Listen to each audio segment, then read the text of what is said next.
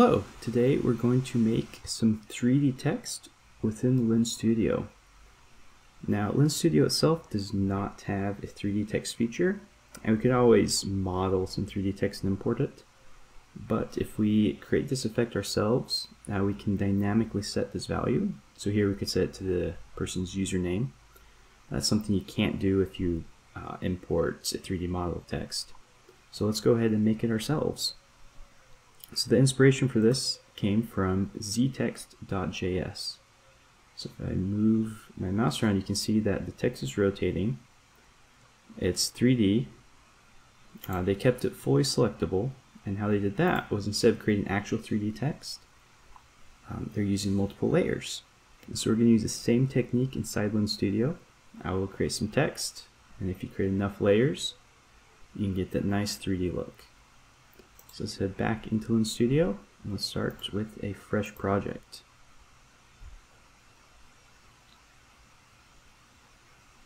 Alright, so once this loads, uh, we're going to go ahead and add just a few things. So up here in the objects, we're going to add a face image. So this is just an image tracking to the head. Now one thing we do need to do is we have this look at component. Now let's change the preview uh, to smile person 1 so we get some head movement going. Now the image is always facing the camera. And if we have 3D text, that's going to kind of mask the effect. So this look at, we're just going to delete that. Now the image rotates with the head. So now that we have that, uh, come down to resources and here we're going to add a few more things. So we're going to come down and we're going to add a text texture. Now up here in the objects panel, if we type in text, you can see we can add a text object or screen text. A screen text is like a 2D overlay. Text object we could attach to the user's head, but we're going to use the text texture uh, because we can apply materials to this and then um, this will end up being applied to our image. So let's go ahead and just give it um, some text. Just say hello. And let's go ahead and import a custom font. Let's use Pacifico. Now if we come back to our text, let's go ahead and add that font. And just to see how this looks, uh, come up to our face image, and for our texture, choose the text. And now you can see our text. But it's still very much 2D. So let's go ahead and finish getting things ready. Um, now I'm going to add two unlit materials. So this one, let's do some blue text. I'm going to call this main. So this is going to be kind of front color. If we come back here, you can see we have yellow, and then the 3D portion is a little darker. Uh, we're going to set it the same way to just make sure it's easy to see. Uh, so let's add another unlit. I'm going to rename this one to shadow. I'm also going to choose a blue, make it just a little darker. Alright, so we have everything set up. So now to actually create the effect, we're going to need to do some scripting. So let's add a script. Now we can name this whatever we want. I'll call it text 3D. Come over here. I'll open in a built-in editor. Alright, so there are different ways that we can get all the inputs that we need. Uh, so you're comfortable with scripting and you have a better way to do it, by all means do that. But I'm going to go ahead and go through the way that I used and how I got a result that I liked. So we're going to start off with our inputs. So I'm going to have an input scene object. I'm going to call this parent. So this is going to be the object that all of our layers live under. And in our case, it'll just be this head binding. Now I'm going to grab another input. It'll be another scene object. This will be text to image. So this is going to be our base image. So in this case, image 1. Uh, that's what we're going to be duplicating. Now I'm also going to grab an asset.texture and this is going to be our text texture. Now this isn't required for the effect, but if we want to dynamically set the text, uh, we will need to bring this in. Now I'm going to add a few parameters. So float, offset, so this will be the spacing between each layer. I'm just going to give a default value of 0.02. That seems to work pretty well. I'm also going to do an int, the number of layers. Um, 50 also seems to work pretty well. Alright, almost ready. So let's go ahead and add a couple more inputs. So an asset dot material, and this is going to be our shadow material. So we're going to apply our main material to our image, uh, but then we're going to load in our shadow material in the script and apply that to all those layers. And I'm also going to add one last input, a boolean for auto updating. Uh, we don't want to be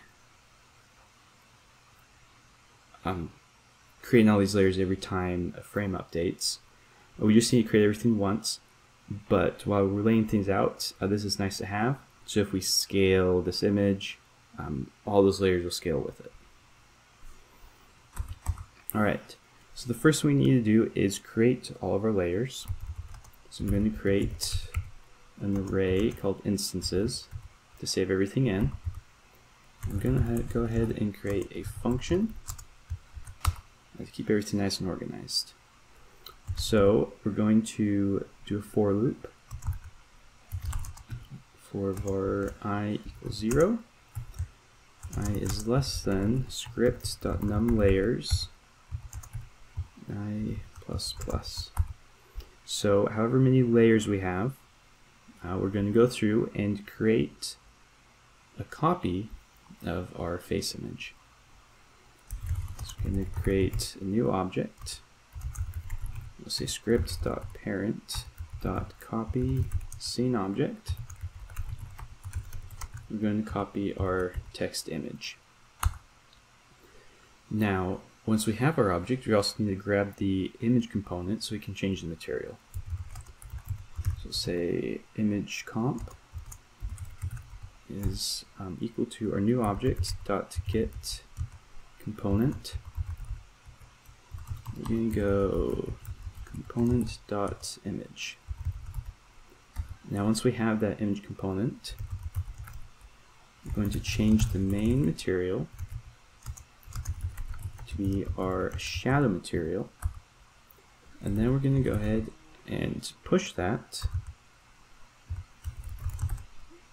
um, onto our instances. All right. So this is our initialization function.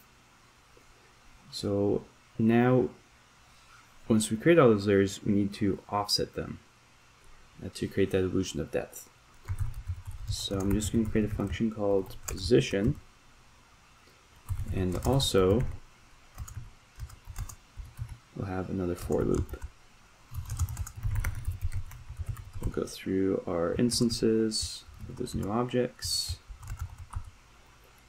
And we're going to start off by grabbing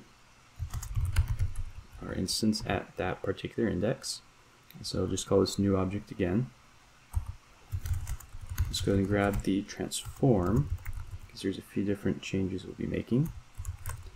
So we'll get our original face image. So everything will be relative to that. We'll grab the position off of that. So we'll do our transform.get local position. Now this is all a little dry, but we'll get back to the fun stuff in just a moment. Alright, so now that we have the position of the layer, we're going to offset, offset it in the z direction. So we'll just take our z, and we'll take uh, the original z, we're going to subtract script.offset. So our offset will be 0.02, so we'll move it back in the Z by that much. But since we have multiple layers, we're going to multiply it by our index. We're also going to add 1 so that our first layer, um, because we're starting at 0, so if we just multiply by i, our first layer, shadow layer, would be the same position as the original text. So we need to add 1 here before we multiply. Alright, so now on our new object, we're going to get the transform and set the local position to that position we just modified. And then this part is only needed for if we're using our auto update. We're going to get our local scale and set that to the local scale of original image. So now if we're scaling this as we're editing, this will make sure that the scale of each layer gets transformed as well. Alright, so now all we need to do is just call those two functions and we're good to go. Uh, so now this next part is just for our user, using our auto update flag.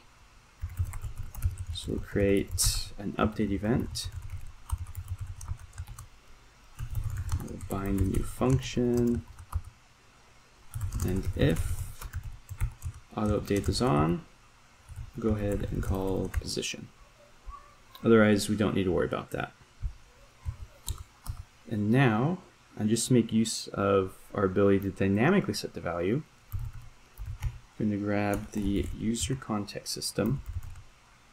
I'm going to request the display name.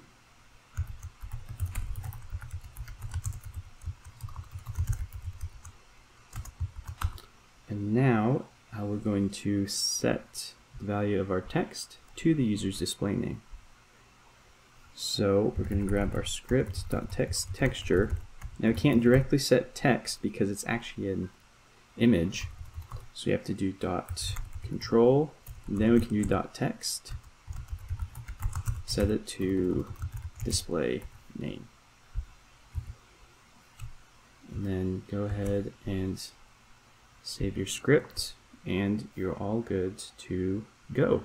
So now we have the scripting out of the way. Now we can go ahead and set up our scene with the script to get the 3D effect created. Okay, so now um, I'm just going to attach the script to my camera object.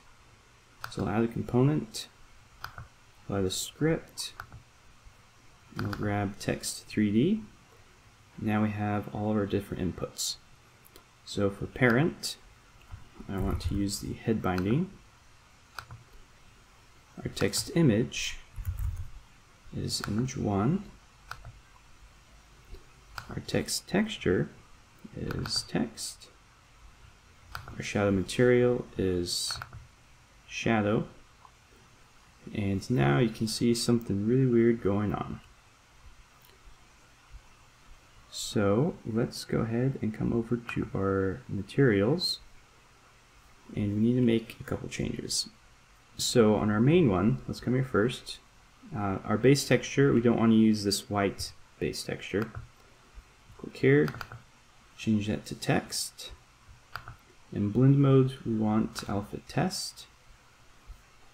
And then let's come up to this image and choose our main material.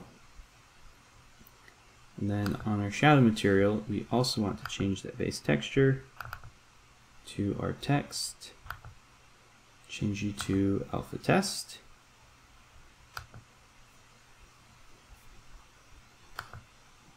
And we are not seeing our, oh, we have a script error. There we go, instances. And now we have our 3D text. Let's make this a little bigger so we can see it. So you can see I scaled it and moved it. Now if this happens, you'll have to restart the lens Otherwise, if we come to our camera and on auto update, now if I come back to the image, I can scale it. You can see that we don't get that disconnect. So that's what the auto update does. So yes, you can see um, as the user moves their head, you can see that shadow material kind of back there. We have the illusion of depth. And uh, we can increase the number of layers if we want more depth. So we change it to 100, we get some thicker text. And now the cool thing about this being an image with the material applied, we can come back to the main one and we could turn on lighting and now we get some uh, specular lighting. So material params, just choose that white base texture, um, that white one, and then you can mess with the roughness, the metallicness. So you can see you can get a really shiny front face, and then it's not as important for the shadow part because you're just kind of seeing the edge, so the material doesn't matter as much. So you can just keep the shadow material as an unlit one.